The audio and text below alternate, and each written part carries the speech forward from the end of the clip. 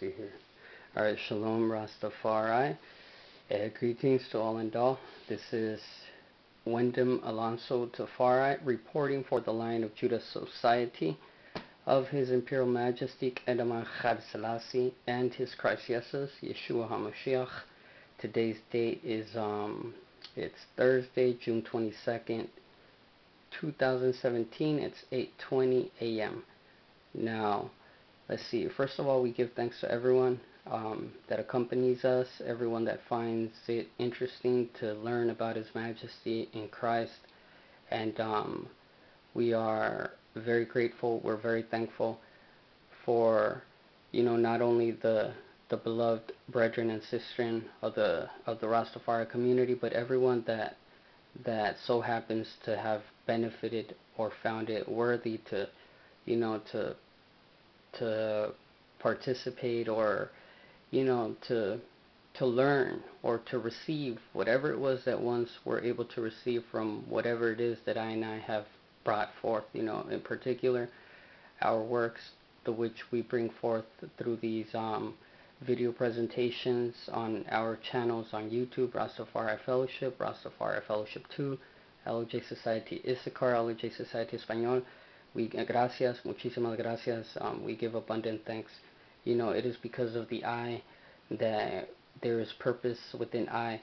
It is because of the collective. It is because of of the commonwealth. It is because of um, all who you know who who benefit from these video presentations. It is because of all of you, all of the I them, that I and I is is um, allotted or, or granted, permitted this privilege and this honor to serve. And so we we give thanks to everyone because without the I, without all of you, you know, there, there's no real purpose for I and I to serve. And so we serve the I and the I, I and I, you know. So we hope that these services are of, you know, of some service. So we give thanks to everyone. Just had to say that.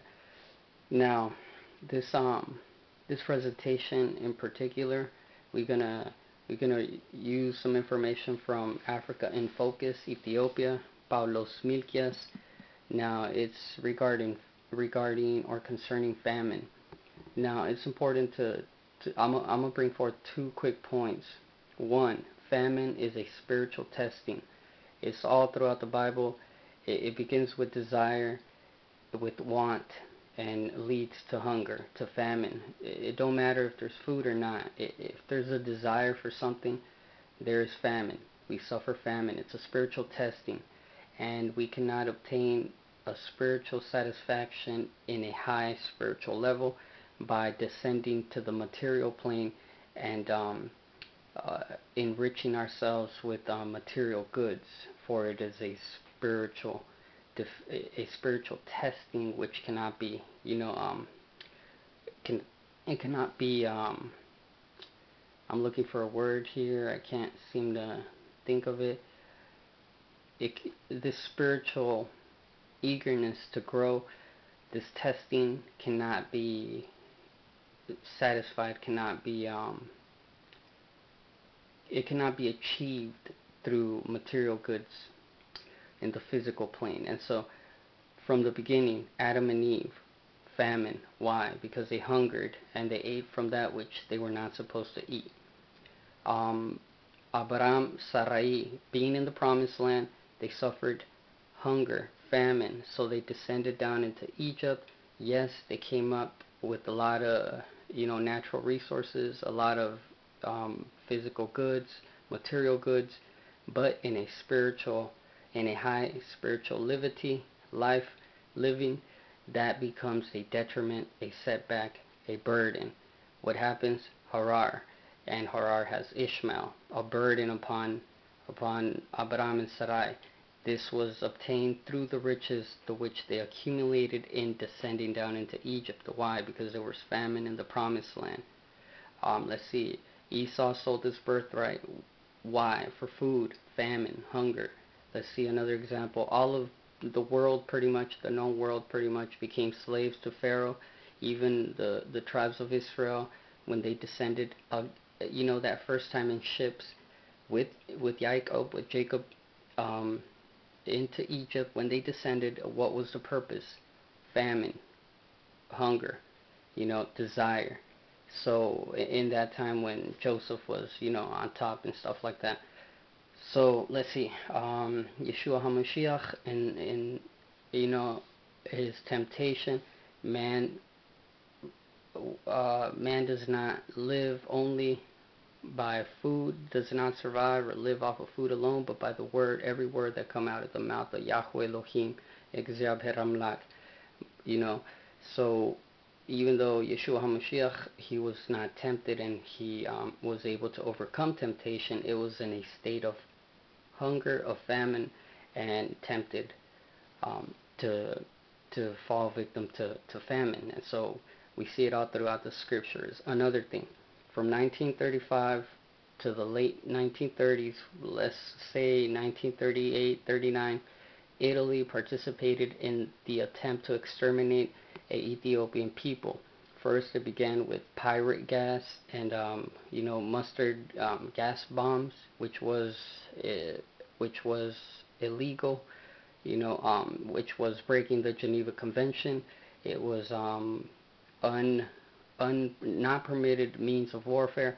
Nonetheless, Italy continued on in, in attempting to poison the Ethiopian not only soldiers but civilians. Now, because it was not successful, they went on to implement more deadly means of, of poison rainfall or you know gassing not only civilians like soldiers but the whole um, landscape. Rivers trees lakes um, you know like fertile lands. And so all these lands became contaminated and what was once abundant fertile and um, lively became desert, you know, um, empty. And it's not to blame Italy or anything like that, but uh, it's worthy to keep in mind because we don't know what kind of effects this kind of poisoning of the land would result in so many years after the matter. So keep that in mind. Now, let's see. Let's let's go on forth.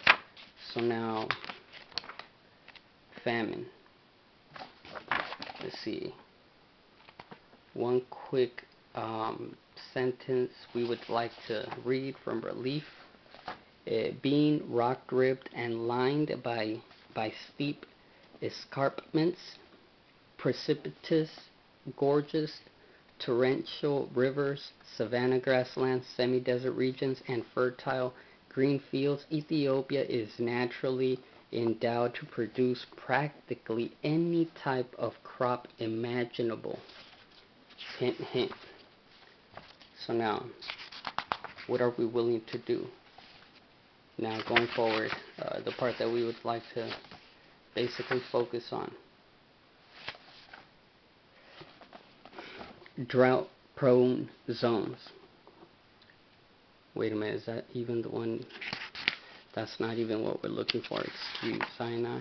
Okay, rural food shortage and famine. Drought conditions have brought about famine in Ethiopia throughout history in the distant past. There were a series of famines due to lack of rain or locust infestation. These include seven famines from 1257 to 1288, then from 1547 to 1759. The most documented in the recent past were the general famine of 1888, the Tigray famine of 1958, the Waglasta famine of 1966, the Wollo famine of 1973, and the disastrous northern famine of 1984 to 1985. One important thing to note is that contrary to popular belief, one important thing to note is that contrary to popular belief, Ethiopia is not a country that is condemned to experience famine indefinitely. Many parts of the drought-prone zones have large tracts of marshland or swampland, and others have riparian locations. Thus, the inhabitants have enough sources of moisture other than rainfall that they can harness under the right conditions. Such regions include parts of Galab and Hamarbaco in Gamogofa, Maji and Goldilla in Kafa, El Kere and Tolo and Bale, Gode, Chercher, Alafo, Kebre Dahar, and Dekehabur in Somali State, Raya in Kobo, and Awasa and Kalu in Wollo. To dispel doubt about Ethiopia's potential to defeat famine, one should see studies concluded or conducted by world experts, Global Environment Facility, GEF scholars have pointed out in 2001 Global Environment Facility 2001 page 1 that though it may sound unimaginable, drought-prone Ethiopia can be considered for the world seed basket. It is true that the very mention of Ethiopia reminds one of starving babies, starving children, of men and women lacking the bare necessities of food, clothing, and shelter, but the Global Environment Facility report confounds this notion. Over 85% of the Ethiopian population lives on the highlands, with almost 90% of them depending on agriculture. The Ethiopian highlands cover 50% of the total area of the country. They are also the engine of 90% of the economy and 95% of the staple foods and cash crops produced during the rainy season. The ecological heter- heter- heterogeneity of Ethiopia offers suitable conditions for a wide range of flora and fauna. The environment of the plateau shows vast biodiversity with about 7,000 higher plant species, of which 840 are endemic. It should be mentioned that Ethiopia is the origin of coffee and home to a diversity of cereal grains such as barley, 277 species of mammals, of which 31 are endemic, and about 861 species of birds, of which 16 are endemic. Water covers 7,400 square kilometers of Ethiopia, with 11 major lakes.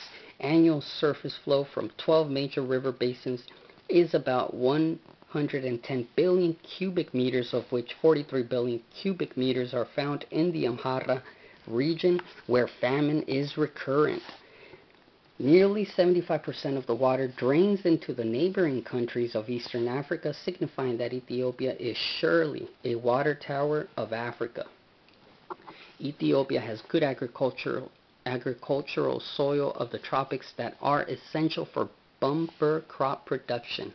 However, it is ironic that while it suffers from food shortage, it is ironic while it suffers from food shortage almost every half decade, Egypt, with literally no rain dropping on its territory, harnesses the Nile, getting 86% of its waters and almost all the silt that makes it exceedingly fertile from the tributaries of the Abbay originating in the Ethiopian highlands.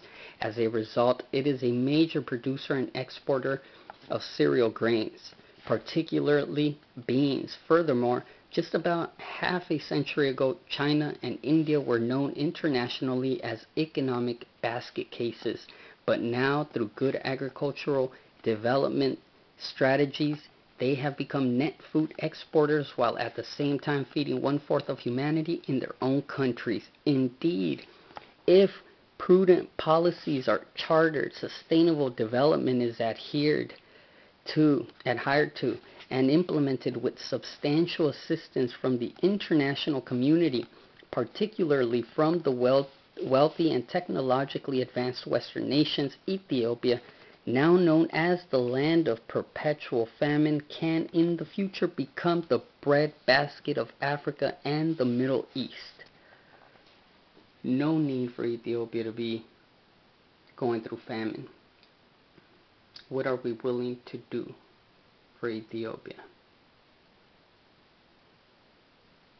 His Father Majesty dispersed us all to all parts of the world so that when the corruption would be from within, we being from without would, in fact, be from within, being from without. And so, you know,